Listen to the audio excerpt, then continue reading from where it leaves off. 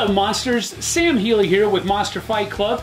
My co-worker Dan Scillieri and I wanted to put together a short series of videos as we go through and paint some Cyberpunk Red Combat Zone miniatures for you. Now the two goals we have in making these videos are first of all to show you some awesome miniatures that are in our Cyberpunk Red Combat Zone line. The second is to simply show you how easy and fun it can be to paint miniatures that will look great on the table with just a little bit of practice. So starting today, Dan's going to be painting for you the Onee-san miniature from the Tyger Claw gang. And I'll be painting the Warlord miniature from the Maelstrom gang, both of which are within that Cyberpunk Red Combat Zone line. So without further ado, let's get painting.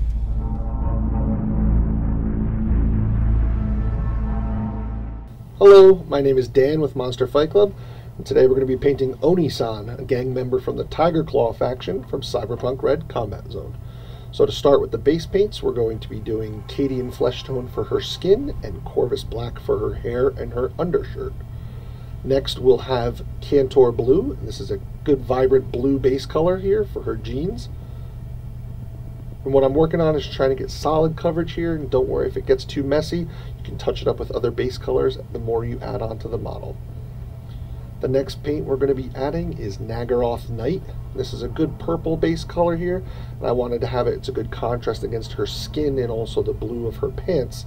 But we're just trying to get a smooth layer here across her jacket. We also going to use it on her boots as well. Trying to avoid different places that we're going to use different colors for, you know, metallics and, and other brighter colors, but still trying to get that even coverage across the entire model.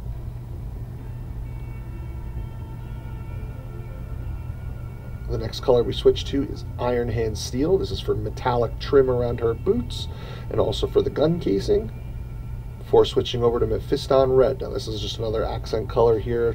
She's got a little katana on her belt here. I thought that'd make a nice little pop against the purple and the blue. I also decided to put a trim around the jacket because these models have a ton of detail. So putting these different colors in different places really brings them to life. Now we switch to Emperor's Children Pink. This is a great neon color here, good, good contrast against the blue and purple, but giving you that neon cyberpunk feel that you see in so much of the artwork in the game. So a couple details around the jacket here, the trim, but predominantly on the knee pads, painted onto her ponytail, and it's pretty much done for the base coats. So we switched over to covering the entire model with Agrax Earthshade. And this is a great shade to put onto a model because it really brings it to life. It ties all the colors in together there for you. It darkens things down and gives it that more realistic feel. But the next step here is going back to all the base colors that you had already previously used and just bringing the original colors back up onto the model.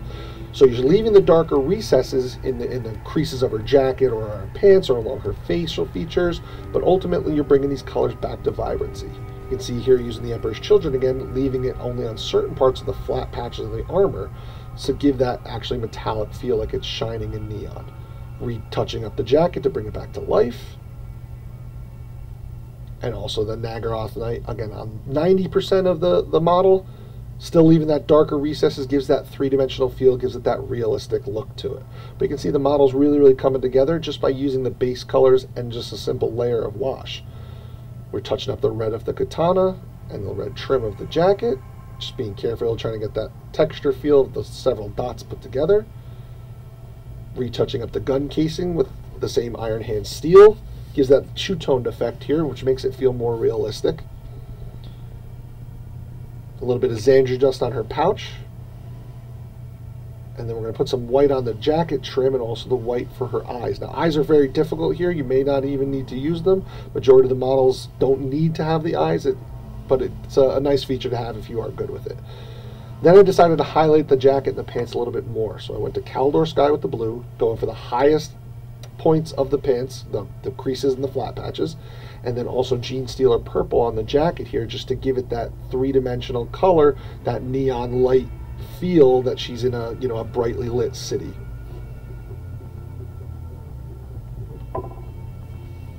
Coming across the boots here with the same way we just did with the jacket, blending it all together. And the last thing I do is kind of touch up the eyes here a little bit, reshape them with the Cadian flesh tone, put on a little dab of for her pupil, And that's pretty much done for Onee-san.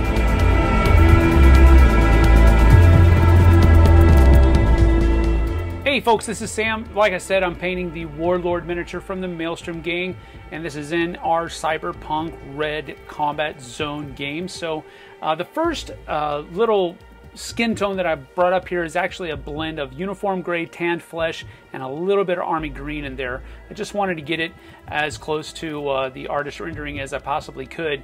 And really, like Dan said, we're just talking about covering as much of that uh, upper torso and arms as we possibly can in this first base coat so that um, we can get all that coverage. The pants were done in a just regular army green.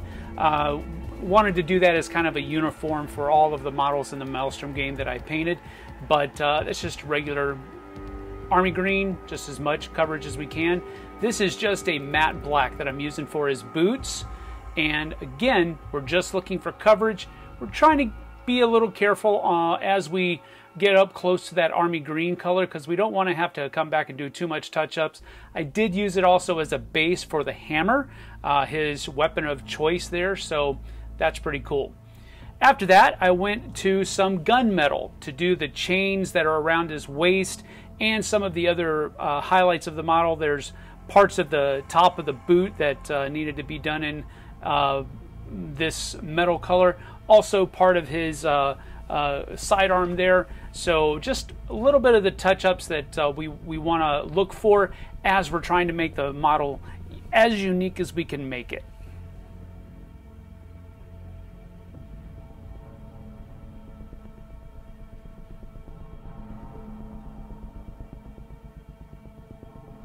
We also used that gunmetal uh, for the hammer, and I just did the entire hammer in gunmetal, uh, so it, it, it, wasn't that bad. Then I also used gunmetal as a base for all of the armor plating that he has on his chest, uh, neck area, arms, and on the back as well.